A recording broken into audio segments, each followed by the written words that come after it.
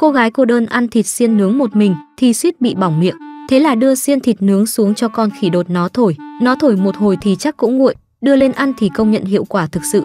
Cô gái kiểu cứ mua cái áo này thì thổi cái gì cũng nhanh nguội.